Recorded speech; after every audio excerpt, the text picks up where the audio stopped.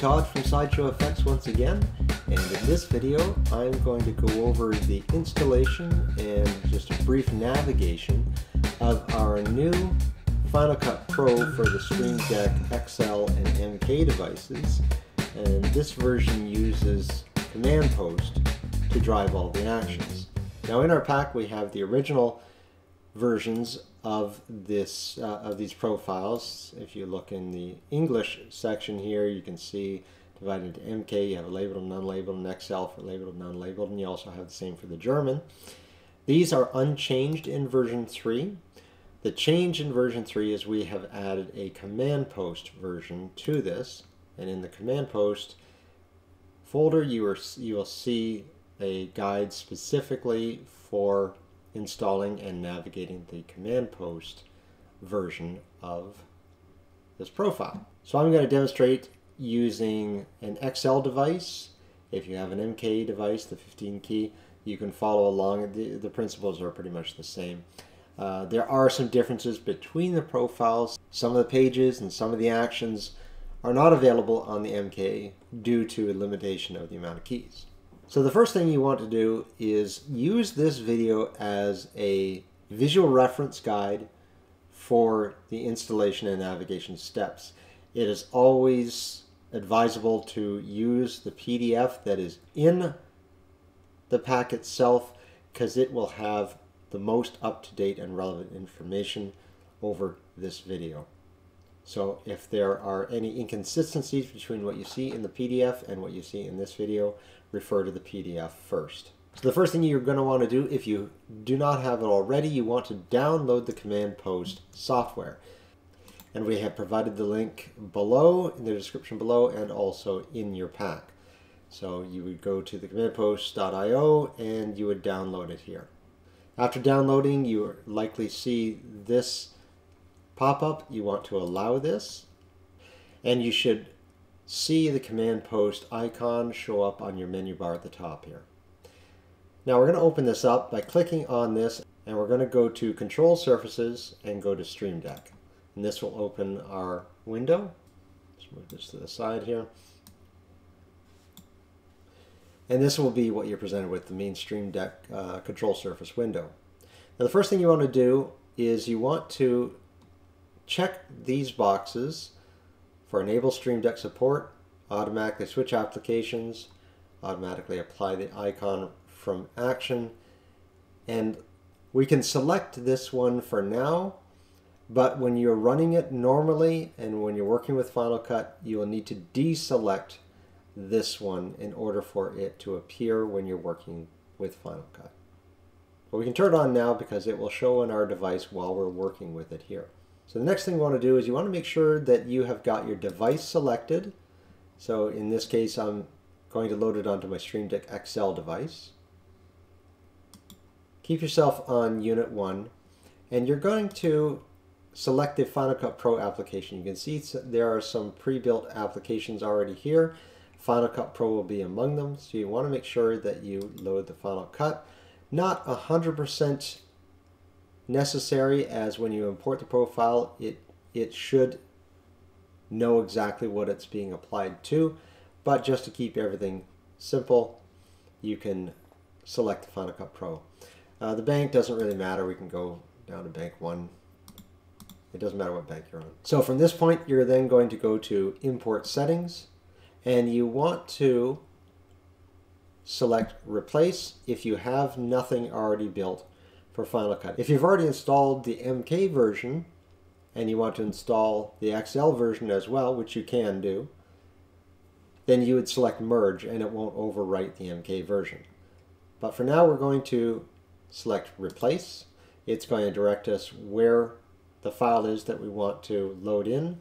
We'll go to our download from Sideshow Effects, go into the Command Post folder, into the profiles, and it is an XL device. And this is the file that we're going to load in, so we can just double click that. It will load in and it loads it into our Command Post software. Now one thing that needs to be mentioned is if you have the Stream Deck software running, like I do here, you'll need to quit it. You'll go up to the menu bar here and you'll say quit Stream Deck. The reason is the Command Post software cannot take control of your Stream Deck device if the official Stream Deck software is running. Once you quit the Stream Deck software, Command Post can take over of your device and our profiles will then show up and are able to be used. So if you're working in a different program, let's say you do some work in DaVinci Resolve, for example, and you're using one of our packs with the Stream Deck, and you want to switch to our Command Post version of Final Cut, you'll need to quit Stream Deck first, and then you'll be able to access our Command Post version of our profile. Now the advantage of the Command Post version of our profile versus the regular is Command Post version uses API actions, not hotkey actions, so therefore that means you can use any keyboard language layout that you choose. If you're using a German keyboard layout or French keyboard layout, this profile will work for you as long as you're using the English language version of Final Cut Pro. The other advantage, of course, is you get a lot more functionality from our Command Post version. You can control the transform, the crop, the distort, and all the color controls, which you can't with our regular version because those are actions that you cannot tie a hotkey to. But with this Command Post version, that's all available to you, and I'm going to show you that now. And so we've populated 50 banks, which are 50 pages of commands. And we're going to briefly go over most of them. And uh, you can go through the menu system and discover them for yourself as well. Now, because you've got preview selected here, it should appear on your device. And this is the main page you're presented with. Now, we've got eight folders along with uh, the tools that are also available to you on the main page. Now you'll find with the preview selected that we're just previewing the page that's live on Command Post. It is not uh, responsive until we get to Final Cut. So let's do that now. We're going to deselect the preview and this is the way you will normally have it working and you'll see it disappears off of your device. But when we switch to Final Cut, you'll see it appears again. And now we have the profile is live. And in each one of these, I can go in to each one of these folders. So select editing, for example, we can get in here and we have one, two, three pages of editing functions. And we can go back. And these are also subfolders for the different categories you can see along the bottom here. Multicam also has some multicam functions as well as dedicated pages for switch and cut switch. We have all of our trim functions here. We can do nudges. If we get into playback navigation, see a page here and we have play rates. Now if we go into effects, we have effect related commands. And if we're going to transform here, I'm going to demonstrate how this transform actually works. So selecting the video inspector and having a clip selected, by pressing and holding these keys, we can affect the different parameters. Now, the first here are we can increase or decrease the opacity of our clip, and we can reset that with this reset button uh, underneath. This affects the position X to the left and to the right, and the position Y up and down. This will affect our rotation. This is our uniform scale. This is our X scale. use my other hand here for the Y scale. And these can all be reset with our reset keys. We also have the ability to change our anchor point left and right and up and down with these keys so we can reset those. Now similarly we can go to crop and we're able to crop the left side in and out now these are fine adjustments. So this is left, right, top, bottom. And you can make these adjustments. You saw this goes one pixel at a time. If we select the ones with the darker orange arrows, these are coarse adjustments, so it, they will go 10 pixels at a time. So this is will be adjusting the bottom of uh, the bottom crop up and down, but in increments of 10 instead of 1. And once again, we can reset all these. Distort works the same way. We can distort our X, distort the Y for the bottom left, and reset those. Now there is no fine or coarse on here because we need all the space for each of the corners. So these are all fine adjustments. We have a page of blend modes. We also have titles featured. Now one thing you'll notice with titles here, these are these are just static keys. If we go into the command post software, let's just go back here and let's select, I happen to know that it's on bank 13 is where our titles are. You can see that they animate here within the command post software. These are how they're designed. Well, currently uh, command post does not have the ability to have animated gra uh, graphics play through on the Stream Deck. But we built them this way because uh, th this will be a feature that's coming soon. So they're already uh, prepared and, and ready so that when that update comes in Command Post, these will be animating this way on your device. And one other thing you'll notice, since I went out to Command Post and then went back into Final Cut, it has taken me back to the main page of Final Cut. That is how the software is built. It automatically goes back to the main page. It would be nice if it would go back to the page we were last on, but currently that's not how it's working. So to finish up effects, we can see we have generators, basic color effects, blur distortion, light masks and keying, stylize functions, looks, and wipes that we can use. They can all be applied at the press of a button. Back to our main page, we'll go into color here.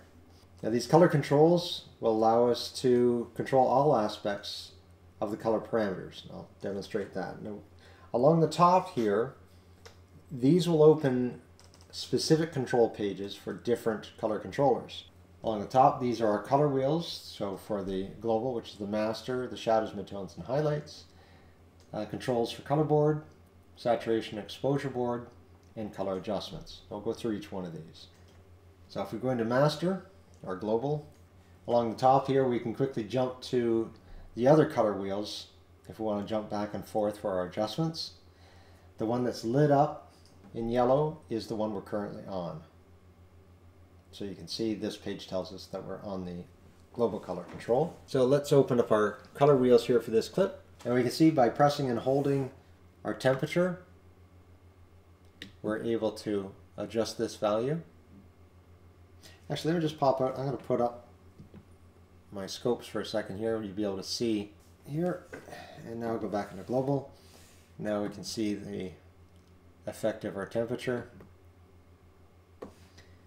We can adjust our tint. You can see it's easier to see with our scopes moving. And we can adjust our hue. And we can reset those with these keys here. Now adjusting this will give us the saturation of our global. You can see the global wheel moving. Now if we turn down or unhide the global controls, you can also see us making the change here. And if we go over this side, we can adjust the brightness. And the red, green, blue can also be adjusted. And you can see those values changing as well.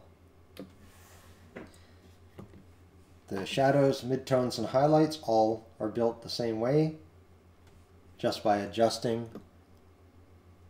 You can see our shadows, red, are moving. Same thing with midtones, highlights. Those will make the adjustments in the appropriate color wheel.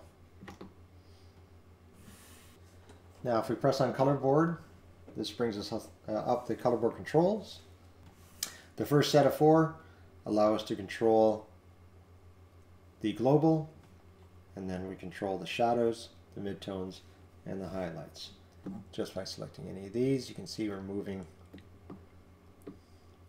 left and right, up and down, we can make our adjustments this way. You may find it more intuitive and easier to use the mouse for these sort of sections, so I can, you know, move the motor I want a lot quicker, but if I then want to dial it in on a more fine level, I can then make my adjustments here. Same thing with saturation and exposure. You can see that we have control over our global values and our black, mid, highlights. That was for the first four in the section. Second four, well actually eight up and down. Uh, the second eight here are for exposure. So if I start adjusting exposure, you can see the pane switch from saturation to exposure. And I can make my adjustments there. Last one we have here is color adjustments. I can adjust my exposure, contrast, brightness, our highlights, black point, and shadows. We don't have resets on here because there isn't enough space because we also have control over the color section, which is our saturation, highlight warmth, highlight tint, the midtones warmth, midtones tint, highlight warmth, highlight tint, and we can also reduce or increase the mix of the effect. So in addition, you have a number of color related hotkey commands that are available on this page. View gives you a uh, few pages of view related commands. Windows, same thing, window commands, audio related commands, as well as page of audio effects, a couple pages of audio effects that you can apply at the press of a button. And general, which helps you with media management, that sort of thing. Just general hotkey commands to help you with your organization and your file management. So that's the command post version of our Stream Deck XL pack. So that's it. That's everything you need to know. You're up and running. As long as you keep your Stream Deck software off, this will work for you. You can relaunch Stream Deck software anytime and work in your other programs. But if you're going to come back to Final Cut and our Command Post versions profile, just remember to quit the Stream Deck software. And that's it for now. Thanks very much for watching, and we'll talk to you soon.